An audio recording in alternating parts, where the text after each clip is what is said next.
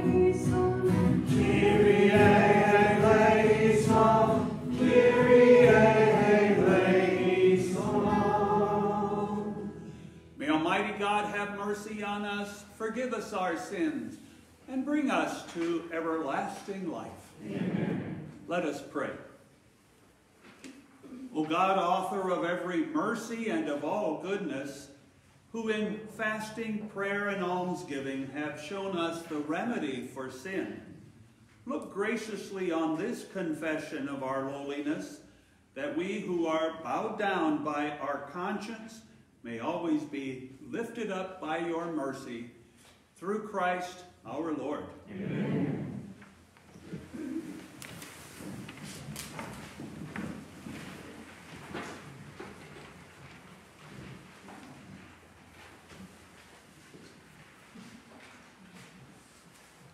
A reading from the book of Exodus. A reading from the book of Exodus. In those days, God delivered all these commandments. I, the Lord, am your God, who brought you out of the land of Egypt, that place of slavery. You shall not have other gods before me. You shall not take the name of the Lord your God in vain, for the Lord will not leave unpunished those who take his name in vain. Remember to keep holy the Sabbath day. Honor your father and your mother, that you may have a long life in the land which the Lord your God is giving you. You shall not kill. You shall not commit adultery. You shall not steal. You shall not bear false witness against your neighbor. You shall not covet your neighbor's house. You shall not covet your neighbor's wife, nor his male or female slave, nor his ox or ass, nor anything else that belongs to him. The word of the Lord. Thanks.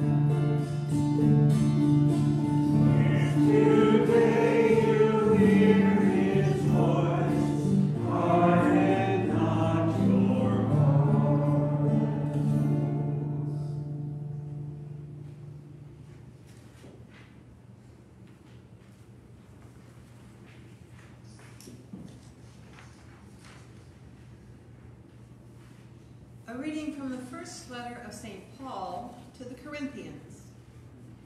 Brothers and sisters, Jews demand signs and Greeks look for wisdom, but we proclaim Christ crucified, a stumbling block to Jews and foolishness to Gentiles. But to those who are called, Jews and Greeks alike, Christ, the power of God and the wisdom of God. For the foolishness of God is wiser than any human wisdom, and the weakness of God is stronger than any human strength. The word of the Lord. Thanks be to God.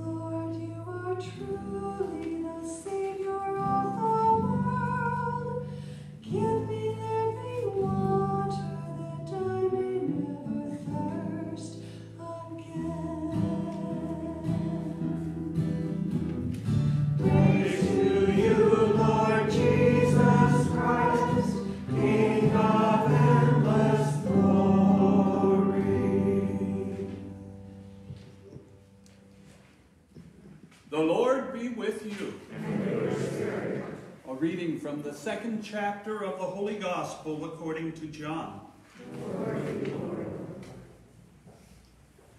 Since the Passover of the Jews was near, Jesus went up to Jerusalem. He found in the temple area those who sold oxen, sheep, and doves, as well as the money changers seated there. He made a whip out of cords and drove them all out of the temple area with the sheep and oxen and spilled the coins of the money changers and overturned their tables.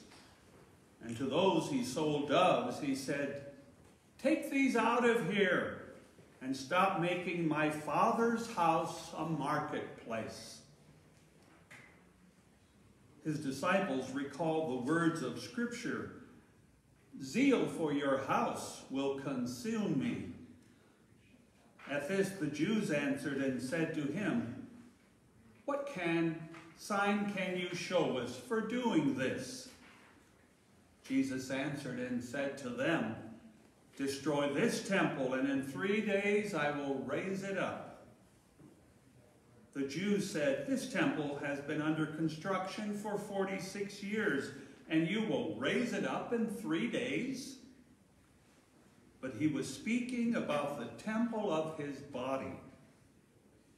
Therefore, when he was raised from the dead, his disciples remembered that he had said this, and they came to believe the scripture and the word that Jesus had spoken. While he was in Jerusalem for the feast of the Passover, many began to believe in his name when they saw the signs he was doing. But Jesus would not trust himself to them because he knew them all and did not need anyone to testify about human nature. He himself understood it well. The Gospel of the Lord. Praise, to you, Lord Jesus Christ.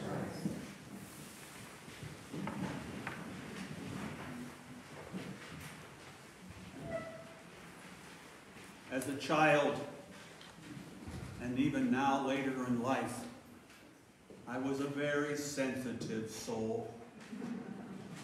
I didn't do well when anger was directed towards me. It always got my attention, but it hurt my heart. That's why today, when we look at the gospel reading, it's very uncharacteristic of Jesus to be angry. This is the only occasion in the gospel where Jesus is angry. And was he angry? Look what he did.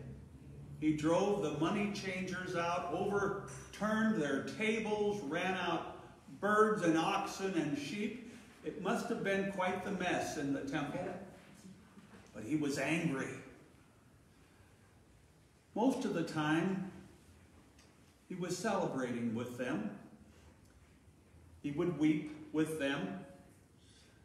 Sometimes he was even tired and troubled. went off by himself. Many times he was moved with pity. He heals the people and celebrated with them, ate at table with them.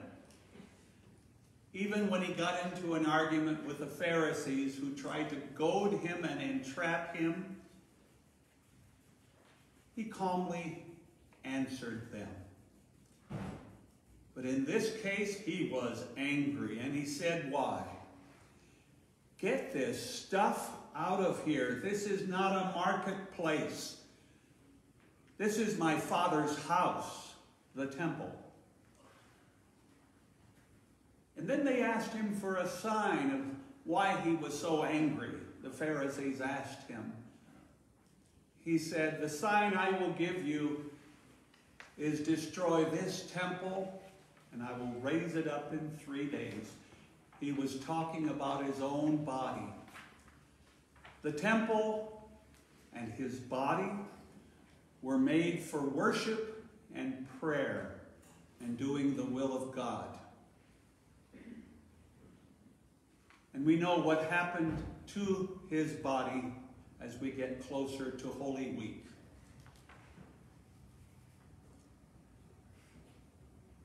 And then, who is the body of Christ today but you and I, and our parish, and the broader church?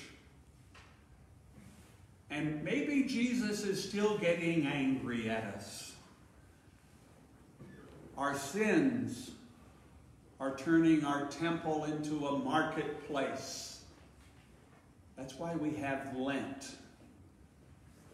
To clean out the dust and the dirt and the grime from our temple. It's clearly the anger that Jesus expressed today because we're made in the image and likeness of God. And at our baptism, we are made a temple of the Holy Spirit. To be a place of worship and prayer no matter where we are. We don't have to be in a holy place. We are a holy place. And that's why during Lent we look for reconciliation. We look for reconciliation and we look to this gospel. How much Jesus cares that we clean up our temple. We even set many times aside for reconciliation and confession. That's how important this gospel is to us as individuals, to us as a parish, and to the whole body of Christ, the church. Everything unworthy of God has to be cast out. Jesus makes no bones about it. Don't defile my Father's house.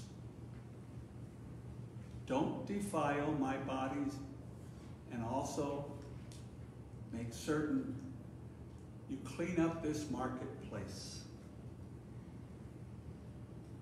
We sing often in church, Somos el cuerpo de Cristo.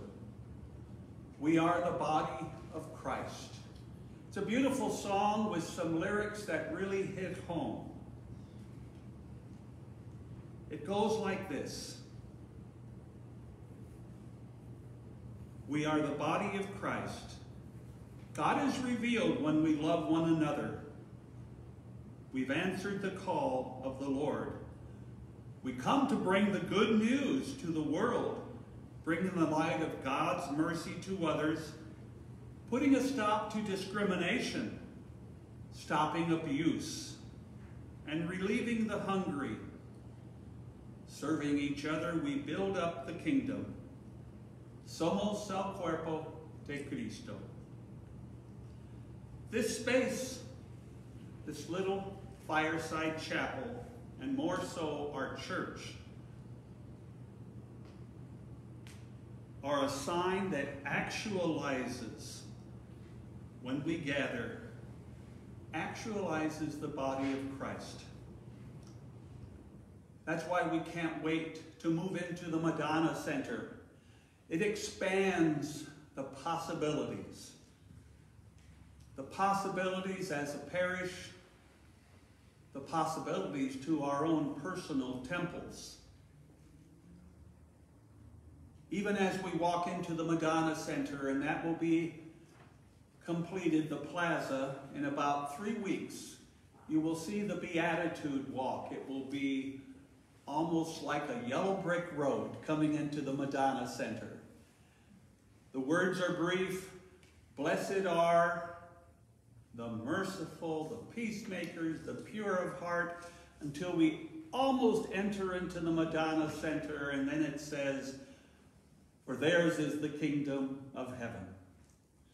We'll be reminded every day when we come into the temple, and we're reminded every day our own temples are to be cleared of the clutter and get rid of the marketplace of our sins.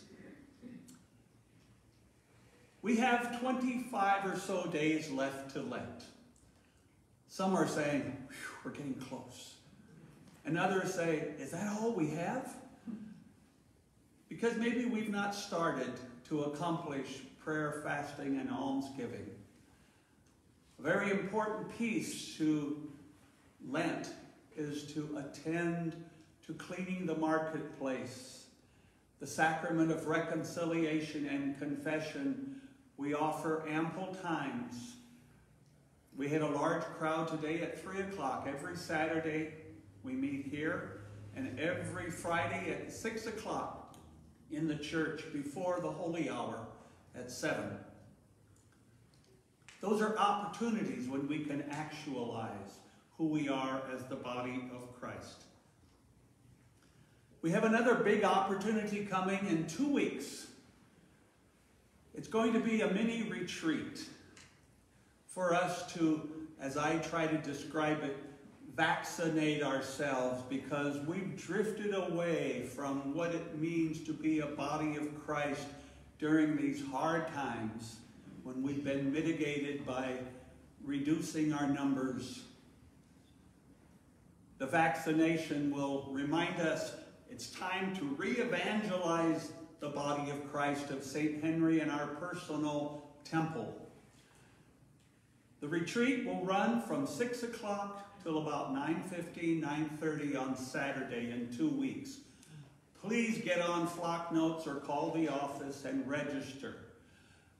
There'll be a countdown from 350 until we've filled our limit. But that's an important mini mission for us. We have two priests, Father Bill and Father Pedro. One will give us the mission in English, and another one will give it in Spanish. Open your heart to that possibility. Just like the Madonna Center is another possibility to clean the temple of my Father. Let us stand and recite our Apostles' Creed together. I believe in God, the Father Almighty, creator of heaven and earth, and in Jesus Christ, his only Son, our Lord, who was conceived by the Holy Spirit, born of the Virgin Mary, suffered under Pontius Pilate, was crucified, died, and was buried. He descended into hell. On the third day he rose again from the dead. He ascended into heaven and is seated at the right hand of God, the Father Almighty. From there he will come to judge the living and the dead. I believe in the Holy Spirit, the Holy Catholic Church, the communion of saints, the forgiveness of sins, the resurrection of the body, and life everlasting. Amen.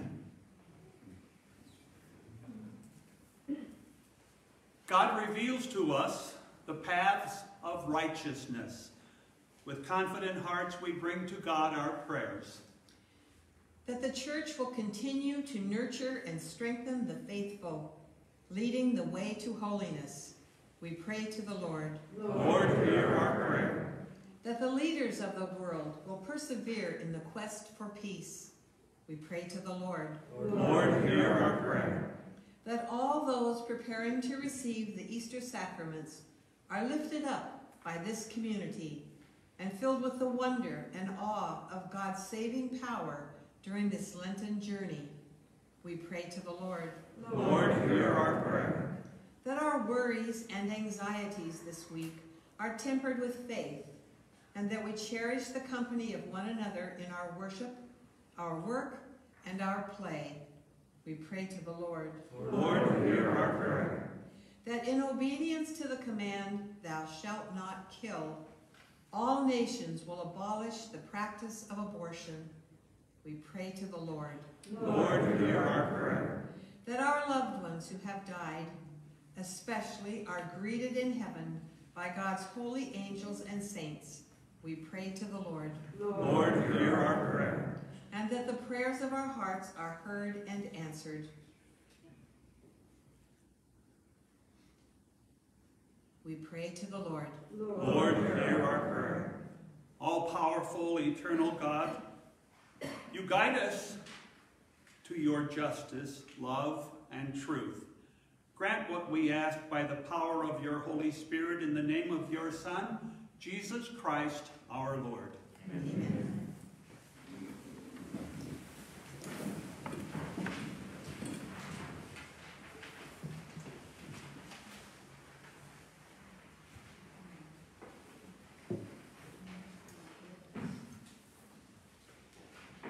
Blessed are you, Lord God of all creation, for through your goodness we have this bread to offer, which earth has given and human hands have made. This will become for us the bread of life.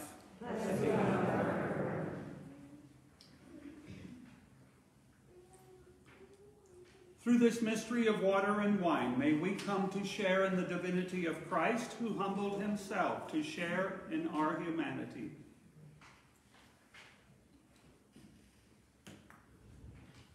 Blessed are you, Lord God of all creation, for through your goodness we have this wine to offer, fruit of the vine and work of human hands. This will become our spiritual drink. Blessed be God forever. Lord, wash away my iniquity, cleanse me of my sin.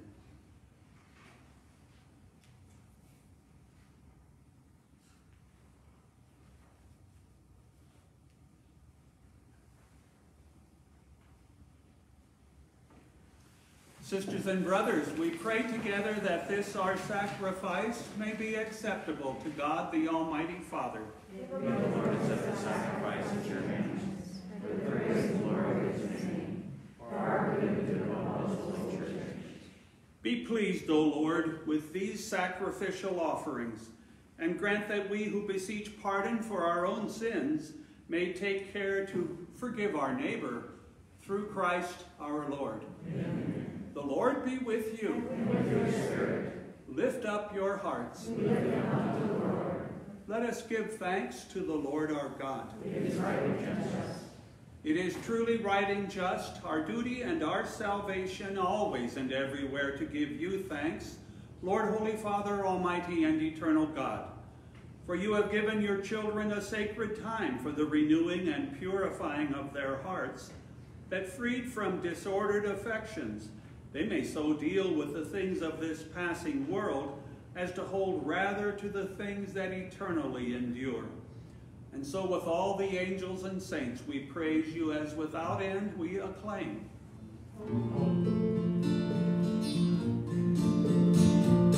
Holy,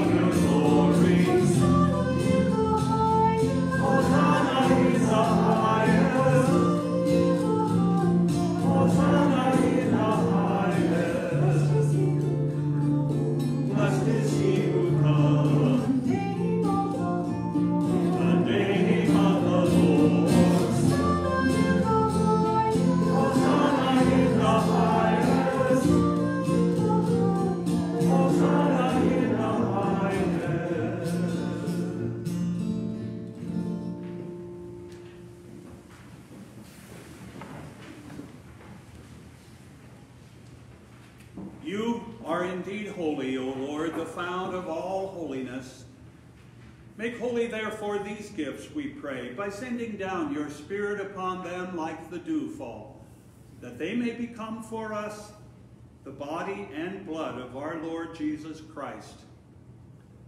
At the time he was betrayed and entered willingly into his passion, he took bread and giving thanks, broke it and gave it to his disciples, saying, Take this, all of you, and eat of it, for this is my body which will be given up for you.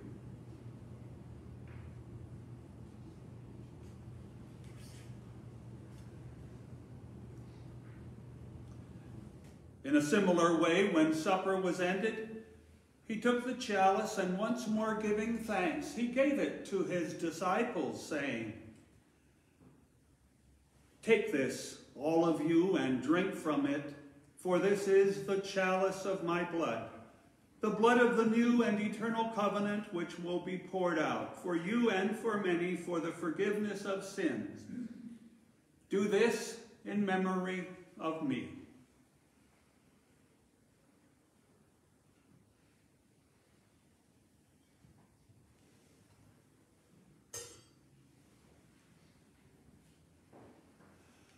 The mystery of faith.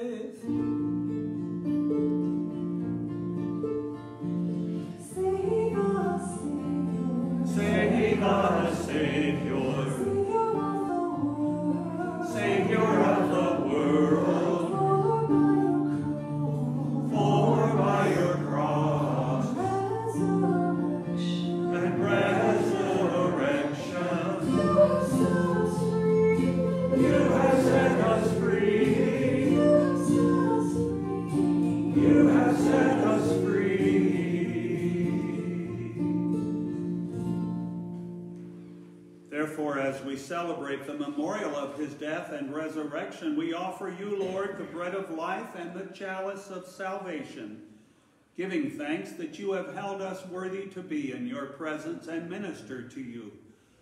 Humbly we pray that partaking of the body and blood of Christ, we may be gathered into one by the Holy Spirit. Remember, Lord, your church spread throughout the world and bring her to the fullness of charity, together with Francis our Pope and Alexander and Peter our bishops, with all the clergy and your faithful people.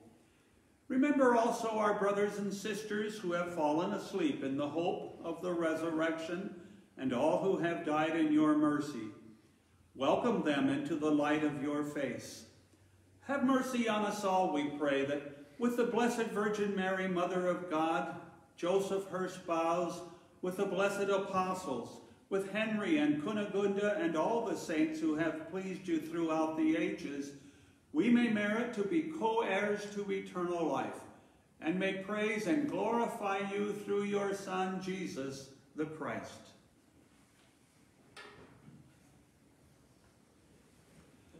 Through him and with him and in him, O God Almighty Father, in the unity of the Holy Spirit, all glory and honor is yours forever and ever.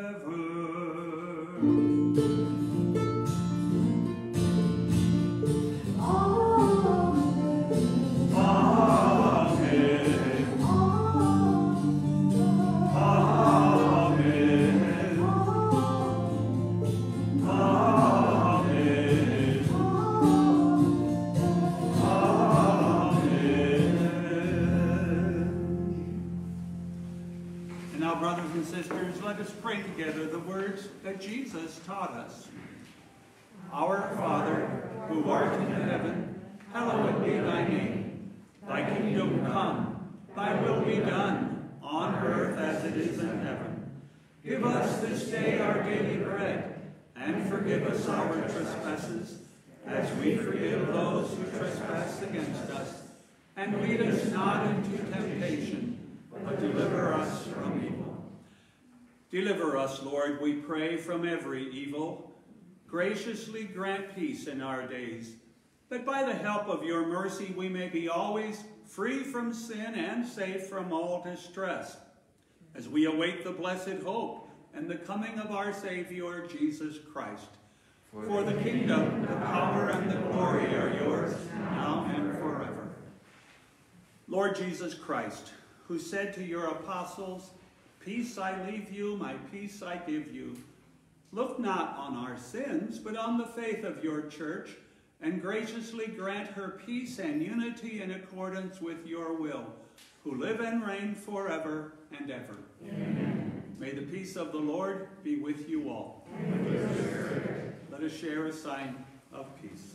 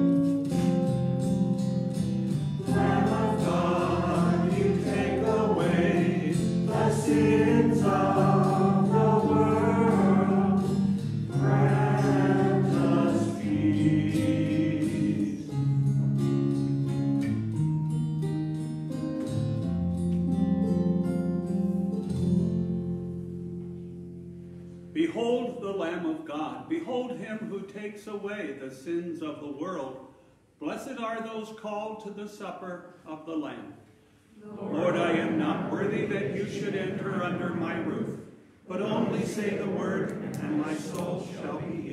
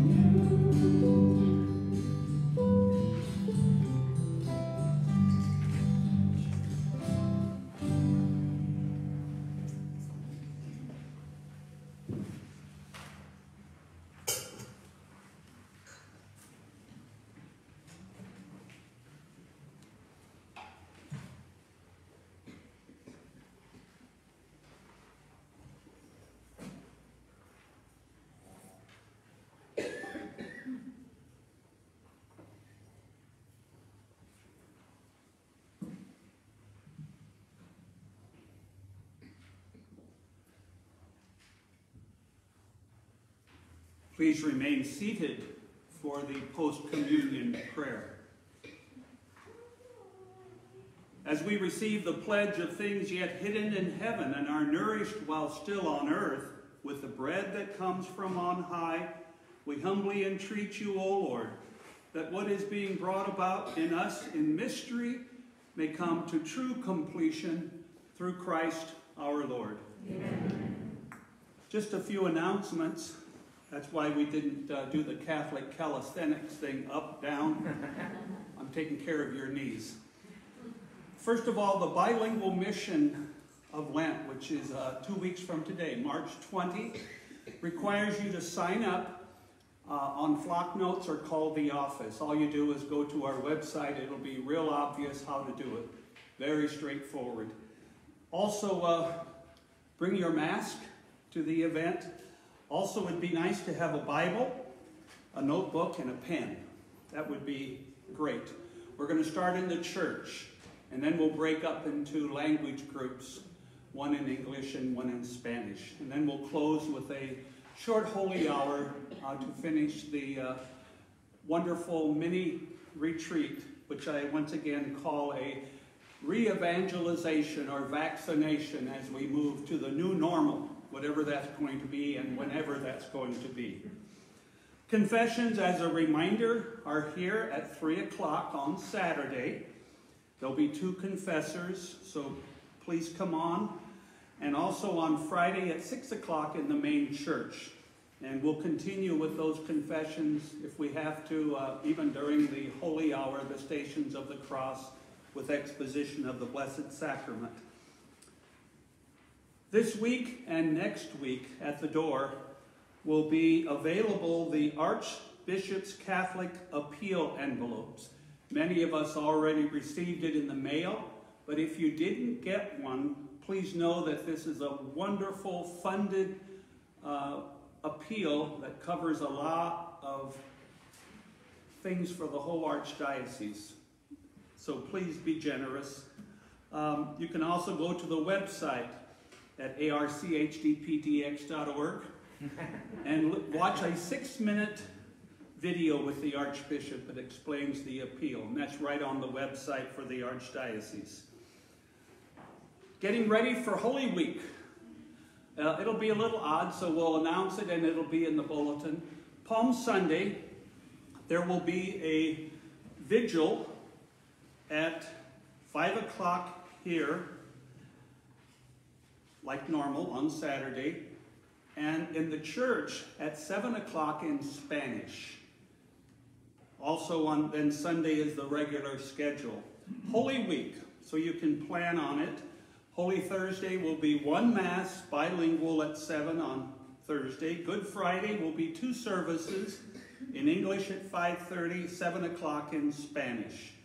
And then services will be the regular on Easter Sunday, with the vigil the night before on Saturday at 8 o'clock. 17 are being received into the church that evening. So it'll be a glorious celebration. There will be a private live stream mass here at 9 o'clock. And uh, I mean private, it's just going to be for those who are homebound. So I think that covers everything. Please stand as we bow our heads and pray for God's blessing. Direct, O Lord, we pray, the hearts of your faithful, and in your kindness grant your servants this grace, that abiding, abiding in the love of you and their neighbor, they may fulfill the whole of your commands, through Christ our Lord. Amen. The Lord be with you. With may Almighty God bless you, in the name of the Father, and of the Son, and of the Holy Spirit. Amen. And as we exit, so that we can mitigate people gathering at the door. You can go out this hallway and take the east exit into the parking lot or this way. At any rate, let's go in peace to give glory and praise to God. Thanks be to God.